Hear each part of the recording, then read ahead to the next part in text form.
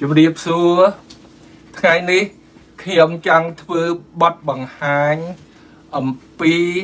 មេរោគនៅក្នុងពោះវៀនមេរោគនឹមសិតនៅក្នុងពោះវៀនយើង មានប្រយោជន៍ណាស់ដែលពាក្យបារាំងគេហៅមីក្រូបយ៉ូតនេះជាចំណេះចេះដឹងថ្មីដែលទឹកតែ4 5ឆ្នាំទេ ការស្រាវជ្រាវ របស់គេបង្ហាញថាមីក្រូបយ៉ូតនេះ មានតួនាទីសំខាន់ដល់សុខភាពយើងមីក្រូបយ៉ូតបានន័យថាវាធ្វើឲ្យយើងធាត់ឬស្គមវាជួយកិនបំបែកជាតិគេហៅថាចំណីអាហារដែលយើងនៅសល់ពី រំលាយអាហារពីពោះវៀនតូចគេហៅមុខងារ metabolism មុខងារធ្វើឲ្យយើង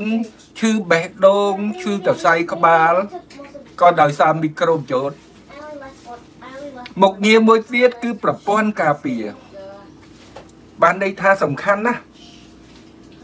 ហេតុអីបានជាគេរកឃើញ ទឹកតែ4 5ឆ្នាំហ្នឹងគេស្រាវជ្រាវអ្នកប្រាជ្ញវិទ្យាសាស្ត្រខាងអាមេរិកខាងបារាំងមានសភៅរាប់ម៉ឺនក្បាលនិយាយអំពីមីក្រូបយ៉ូតស្អីទៅមីក្រូបយ៉ូត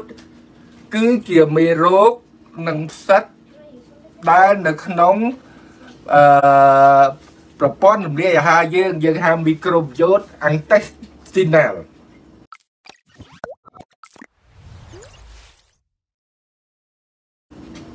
វាមាននៅលើស្បែកវាមាននៅតាមច្រមុះវាមាននៅតាមប៉ុន្តែដែលសំខាន់យើងចង់គេចង់ដឹងនឹងតើវានៅក្នុងពវៀនវាមានតួនាទីអីខ្លះតួវានាទីវាសំខាន់ណាស់ចឹងហើយបានជាយើងត្រូវតែថែវាថែវាដោយសារអីខ្ញុំនឹងជម្រាបហើយយើង សម្លាប់វាដោយសារអីហើយយើងខ្លួនយើងជាអ្នកធ្វើបានជាយើងឈឺចឹងមីក្រូបយ៉ូតនេះវាមានតាំងពីកំពង់កបន្តិចបន្តិចមេរោគហ្នឹងនៅកាពះហើយដែលអស់លោកក៏ស្គាល់ហើយមេរោគកាពះហ្នឹងគេហៅ Helicobacter pylori នៅក្នុង ពវៀនតូចនៅក្នុងពវៀនតូចហ្នឹងក៏មិនច្រើនទេប៉ុន្តែសំខាន់នៅក្នុងពវៀនធំ នៅក្នុងពវៀនធំពីព្រោះយើងញ៉ាំអាហារយើងទៅយើងបំបែកតាំងពីទឹកមាត់ជាតិម្សៅឲ្យទៅជាផ្អែមកាត់វាកង់កង់ជាតិខ្លាញ់ជាតិប្រេងជាតិសាច់ ទៅដល់ពងកយើងលេបទៅទៅកាពះចាប់បំបីទៀតហើយប៉ុន្តែសំខាន់នៅក្នុងពវៀនតូចបំបែកជាតិស្ករឲ្យទៅក្លូកូខ្ញុំបានធ្វើឡាយហើយបំបែកជាតិសាច់ឲ្យទៅអាស៊ីតអាមីណេបំបែកជាតិខ្លាញ់និងប្រេងឲ្យទៅជាអាស៊ីតក្រាតក៏ប៉ុន្តែរបស់របរអាហារយើងនេះមិនបានរំលាយអស់ទេ នៅសល់ជាតិខ្លះទៅក្នុងពវៀនធំនឹងហើយដែលខ្ញុំចង់និយាយថ្ងៃនេះ ហើយជាសុខភាពមួយខ្លាំងណាស់ដែលជាសំខាន់ថ្មីវិទ្យាសាស្ត្រថ្មី មីក្រូបយ៉ូតនេះសំខាន់វាជាផ្សិតនិងមេរោគ កាលពីគេមិនទាន់សិក្សាគេយកលមួកយើងទៅមើលគេរកមេរោគបានតិចណាបើយើងឈឺពោះគេផ្ញើទៅរៀកហ្នឹងទៅផ្ញើទៅមន្ទីរពិសោធន៍គេហៅមីក្រូបយ៉ូឡូស៊ីហ្នឹងយកទៅចិញ្ចឹមប៉ិនមីក្រូបយ៉ូតនេះវាជួនកាលអាខ្លះវាអត់ត្រូវការខ្យល់វាអត់ដុះអញ្ចឹងហើយបានយើង ឃើញគ្រុនពោះវៀនយើងឃើញរៀកកាស៊ីហ្គាឡាមេរោគច្រើនណាស់ដែលយើងដឹង Salmonella អង់តាមីបាកូឡាកូលីច្រើនណាស់ក៏ប៉ុន្តែដោយសារវិទ្យាសាស្ត្រជឿនលឿនគេរក genome ឃើញដូចយើងរក COVID យើងរកផ្ដាសាយយើងយកសក់ទៅមើលប៉លីសគេដឹងថាយើងស្នាមដៃគេរកមនុស្សយើងឃើញគេហៅ genome កាលណារក genome ឃើញកាន់តែជ្រៅទៅទៀតណាក៏មុនគេស្មានថា យើងឈឺនឹងដោយមេរោគកាចខ្លះដល់ពេលគេរក genome ឃើញ គេរកឃើញមេរោគកាន់តែច្រើន ទៅហើយវាកំណត់ដោយខ្ញុំនិយាយមិនចឹងគឺវារស់នៅ ជាមួយយើងប្រហែល1គីឡូកន្លះទៅ2គីឡូ ខ្ញុំមើលឯកសារនេះខ្ញុំមិនចង់ជឿមេរោគវានៅជាមួយយើង នៅក្នុងពោះវៀន1គីឡូកន្លះទៅ2គីឡូហើយវាចែកជាមេរោគល្អជួយការពារយើង ជាផ្សិតឬក៏ជាមើកយើងហៅមីក្រូបជូតល្អ មេរោគខ្លះវាលួចរបស់យើងតិចតួចគេហៅប៉ារ៉ាស៊ីតតិចតួចអត់អីដែរចិត្តនៅមួយយើងជាប់ក៏ប៉ុន្តែមានមេរោគខ្លះកាចដូចយើងស្គាល់ហើយមេរោគជាច្រើនកើតធ្វើឲ្យយើងឈឺឲ្យរីឲ្យមូលឲ្យក្តៅខ្លួនឲ្យគ្រុនពោះវៀនទាំងអស់នេះហើយដែលជាសត្រូវជាមួយយើង អញ្ចឹងមេរោគដែលល្អនោះវានៅបាំងអត់ឲ្យចូលអត់ឲ្យឆ្លងពោះវៀនយើងបានអត់ឲ្យឆ្លងពោះវៀនយើងបាននឹងហើយបានលិមួកយើង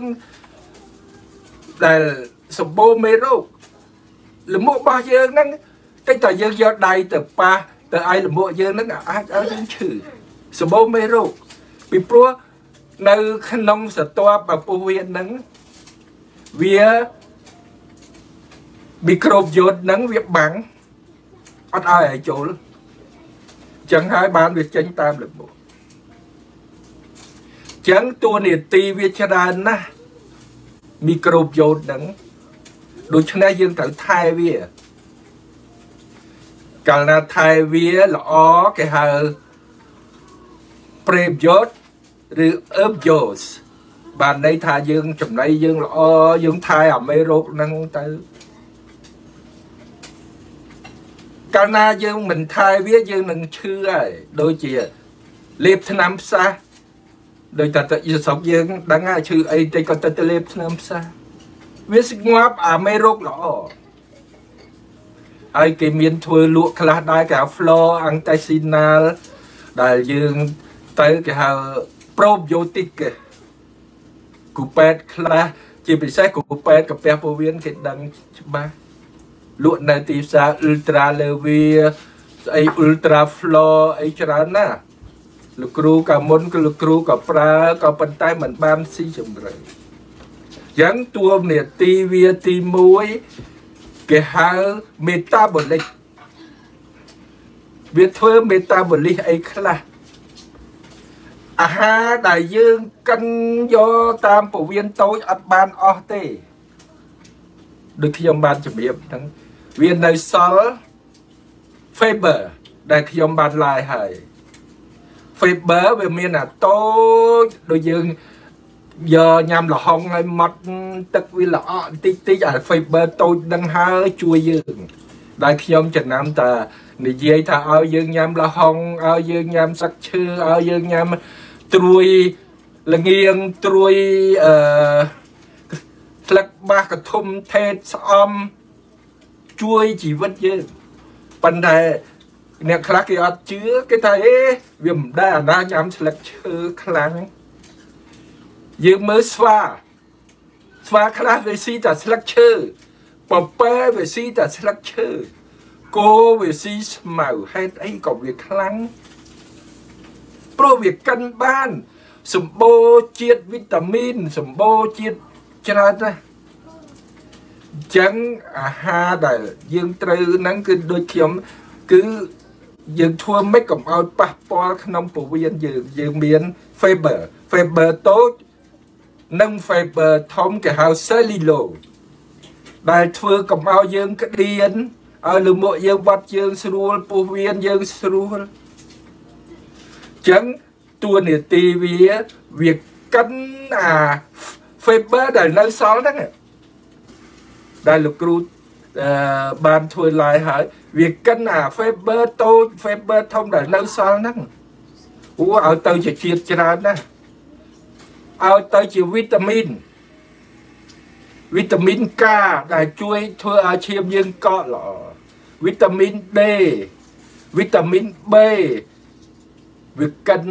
អាជាតិយើងនឹងចឹងឲ្យបានវាជាមេតាបូលីស ហើយវាកិនអាស៊ីតក្រាអីនៅសល់ទៀតវាជួយទាំងច្រើនណាស់វីតាមីនវាជួយធម្មពលដែលយើងនៅសល់វាយកទៅកិនឲ្យតូចទៀតឲ្យមីក្រូបយ៉ូតក៏ប៉ុន្តែការកិនរបស់វាសល់ជាខ្យល់ចឹងបានយើងមានផោមយើងភើខ្យល់វាមានគេហៅអ៊ីដ្រូសែនមេតាន អឺ CO2 gas carbonic ប៉ុន្តែអាស្អុយហ្នឹងគេហៅ sulfuric ចឹងវាកិនចឹងវាចេញជាខ្យល់ហើយអាខ្យល់ហ្នឹងដុតឆាច់ជាពិសេសមេតានអ្នកណារៀនគីមីសេរីរាង្គនៅបាក់ដប់ដឹងហើយមេតាននេះគេដែលគេចាក់គេចាក់អឺផ្សារផ្សារឈីឈីឃើញខៀវខៀវមិនមែនផ្សារអេឡិចត្រូលិកទេ ផ្សារអំពងគេបើកមកអាហ្នឹងហើយខាមេតានអាស៊ីទីឡែនចឹងវាធ្វើមុខងារវាជួយកិនជួយធ្វើវីតាមីនមួយទៀតវាបំបែកជាតិខ្លាញ់ណាបើចឹងហើយអ្នកញ៉ាំខ្លាញ់ខ្លះក៏វាជួយជួយយើងកុំឲ្យកើតជំងឺគេហៅមេតាបូលិកធាត់ពេក លើសជាតិកូលេស្តេរ៉ុលដែលខ្ញុំបានឡាយហើយនាំឲ្យយើងស្លាប់និង stroke និងលាកអលួយបេះដូងហៅ infarctus ដោយ myocardium ចឹងមីក្រូបយ៉ូតមានតួនាទីមេតាបូលិកមួយទៀតកុំឲ្យធាត់គេគេគេបង្ហាញច្បាស់គេយកកដៅមួយមីក្រូបយ៉ូត ដែលល្អស្គមកដៅមួយមីក្រូបយ៉ូតធាត់ហើយគេយកអាអាមីក្រូបយ៉ូតដេញកដៅស្គមហ្នឹងយកទៅបញ្ចូលឲ្យកដៅធាត់ស្រាប់អាកដៅហ្នឹងស្គមមកវិញវាមិនចង់ញ៉ាំផ្ដេសផ្ដាវាអីទៅទៅជាកដៅស្គមបើអញ្ចឹងតួនាទីមីក្រូបយ៉ូតមេតាបូលិកមួយកុំឲ្យ obesity កុំឲ្យ obesity តួ នាទីគេហៅជួយ ប្រព័ន្ធការពារឲ្យសន្ទាប់ក្នុងនឹងរបស់ពោះវៀនដុះយើងអឹងហើយសន្ទាប់ក្នុងរបស់ពោះវៀនដើម្បីឲ្យជ្រាបបានគេហៅ velocity បើយើងលាវាយកទៅក្រាលបានមកតារាំងវាយទៅនេះធំណាស់អញ្ចឹងហើយបានយើងញ៉ាំអីទៅវាជ្រាបចូលទៅក្នុងខ្លួនយើង ចឹងវាជួយឲ្យ immunity ទៀតគឺថាប្រព័ន្ធការពារយើងពីព្រោះប្រព័ន្ធការពារយើងត្រូវការទប់ទល់នឹងមេរោគដោយខ្ញុំបានឡាយហើយគេហៅ immunoglobulin immunoglobulin ហ្នឹងគឺជួយទប់ទល់នឹងមេរោគដែលយើងចាក់វ៉ាក់សាំងហ្នឹងដែលយើងចាក់វ៉ាក់សាំងហ្នឹងលើអាណាដាំអី ឆេះឡែកប្រាប់យាយអឺកាលណាយើងអឺទប់ទល់ចាក់វ៉ាក់សាំងហ្នឹងបង្កើតឲ្យប្រព័ន្ធការពារប្រព័ន្ធការពារនឹងហើយដែលយើងហៅថាអ៊ីមីណូជើងចាក់កូវីដយើងចាក់ផ្ដាសាយើងចាក់ខាន់ស្លាកយើងចាក់អីទាំងអស់អាហ្នឹងហើយដែលឲ្យប្រព័ន្ធការពារយើងដុះអញ្ចឹងមីក្រូបយ៉ូតវាជួយដល់អាហ្នឹង ជួយអីទៀតមីក្រូបយ៉ូតវាជួយមិញហាមេតាបូលិកធ្វើឲ្យយើងស្គមធ្វើឲ្យយើងមានវីតាមីនធ្វើកុំឲ្យប្រព័ន្ធការពារយើង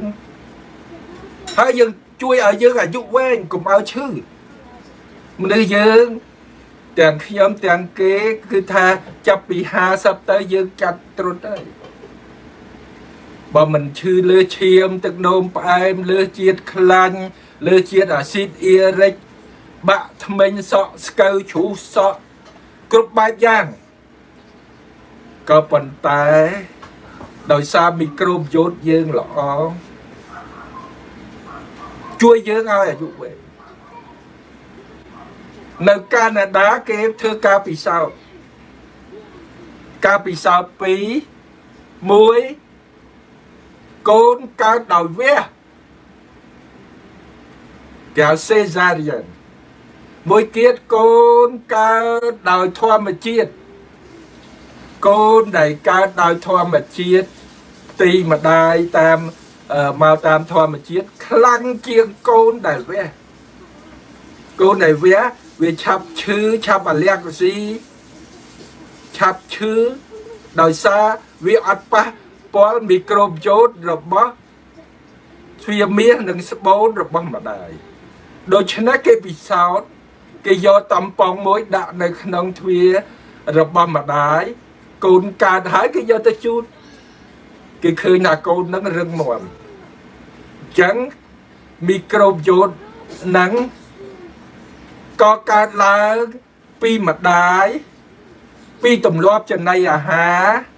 ពីបរិស្ថានយើងរស់នៅដោយថាផ្ទះយើងទម្លាប់ញ៉ាំអីមីក្រូបយ៉ូតហ្នឹងវាដុះទៅតាមហ្នឹង តែយើងបើថាអត់បានទាខ្វាយជ្រូកខ្វាយសាច់គោទេអត់មានអាណាលោកមន់អីបើធ្វើតែបន្លែអត់អត់មានអាណាលោកអញ្ចឹងហើយបានជាដូនតាយើងមានមីក្រូបយ៉ូតល្អគាត់នៅស្រែរបស់ធម្មជាតិខ្ញុំនិយាយទៅវាដដែលគឺរបស់ធម្មជាតិនៅស្រែមានស្អីមានតែស្លឹកឈើមានតែហើយគាត់ដេញបាញ់សัตว์បានសัตว์មកជួនកាលហ្នឹង រោលញ៉ាំប៉ុន្តែមនុស្សពីដើមរស់បានយូរជាងយើងសម្បូរបែបសម្បូរបែបហៅ fast food ហ្នឹងគឺឲ្យយើងឆាប់ឈឺ stroke តសៃបេះដូងអាស៊ីតអ៊ីរិកលើជាតិខ្លាញ់គ្រប់បែបគ្រប់យ៉ាងអញ្ចឹងយើងទាំងអស់គ្នា ដើម្បីសុខភាព ដើម្បីអាយុវែងយើងត្រូវថែមីក្រូបយ៉ូត ឲ្យទៅជាគេហៅពាក្យគេថា herbs កុំឲ្យ dysbio dysbio បានន័យថា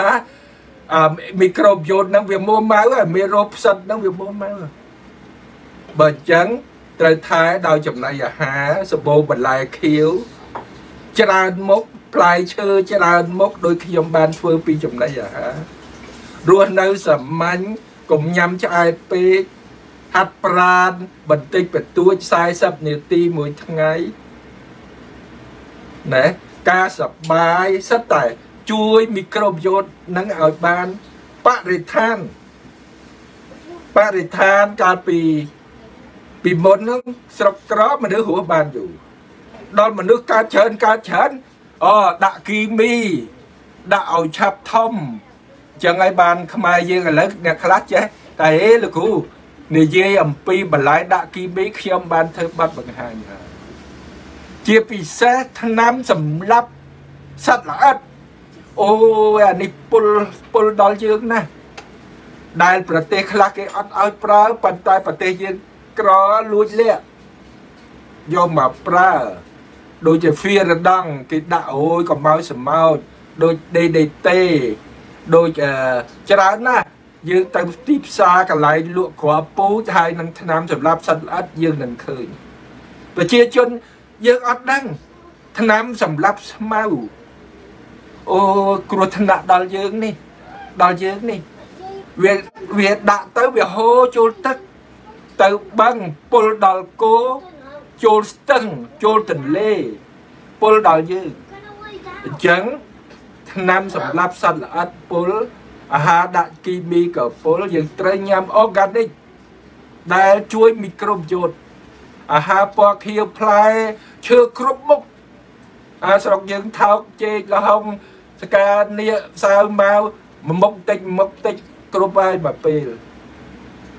ហើយល្អបំផុតស្ងោនិងចំហុយប៉ុន្តែវាអត់ឆ្ងាញ់ម្នាក់ម្នាក់ចង់ជៀនចង់បំពងជុលដាក់ អានឹងហើយគ្រូថ្នាក់ដល់យើងប៉ុន្តែដល់ពេលយើងឈឺបានដឹងអញ្ចឹងពីក្មេងញ៉ាំល្អប៉ុន្តែចាស់ទៅបានស្ដាយក្រោយអញ្ចឹងហាមលេបថ្នាំផ្សះថ្នាំផ្សះជាពិសេសថ្នាំផ្សះវាប៉ះពាល់ដល់ក្នុងពោះវៀនយើងវាងាប់ពីគ្រប់គេមានថ្នាំលក់ដែរជួយ flow intestinal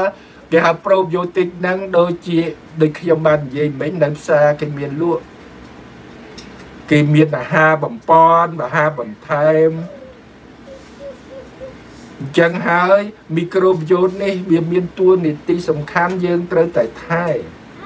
ថែដោយចំណីអាហារកុំលេបថ្នាំផ្ដេសផ្ដាសកុំញ៉ាំទឹកផ្ដេសផ្ដាស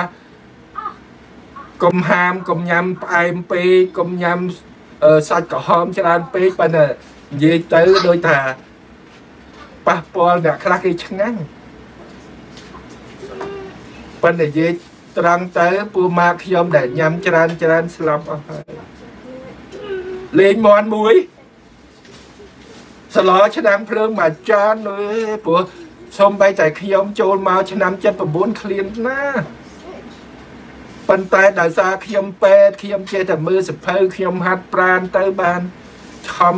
សម្រក់គីឡូទៅអស់ជាតិខ្លាញ់អីទៅមកដល់ស្រុកអាមេរិកក៏ខំដើរព្រឹកព្រលឹមឡើងភ្នំចុះភ្នំញ៉ាំទឹកឲ្យច្រើនញ៉ាំបន្លែខៀវទាំងអស់នឹងហើយជួយយើងឲ្យបានដោយខ្ញុំជម្រាបចឹងអញ្ចឹងថ្ងៃនេះចង់បញ្យលមីក្រូបយោតបកប្រែជាខ្មែរមេរោគនៅក្នុងពវៀនរឹងផ្សិត ដែលនៅក្នុងពវៀនពូជវាច្រើនណាស់ដែលពីដើមខ្ញុំក៏មិនយល់ដែរដោយសារខ្ញុំមើលសភៅស្ដាប់សាស្ត្រាចារ្យស្រុកគេជាភាសាអង់គ្លេសជាភាសាបារាំងទៅ បានជាខ្ញុំយល់ហើយខ្ញុំយកមកបកស្រាយជូនបំភ្លឺឲ្យបងប្អូនពេទ្យយើងថ្មីថ្មីខ្លះនិស្សិតខ្លះហើយពេទ្យខ្លះក៏មិនបានយល់នៅពាក្យមីក្រូបយោតមីក្រូបយោតសំខាន់អញ្ចឹងការ live របស់ខ្ញុំមានតែប៉ុណ្ណេះទេសូមអរគុណសូមជម្រាបលា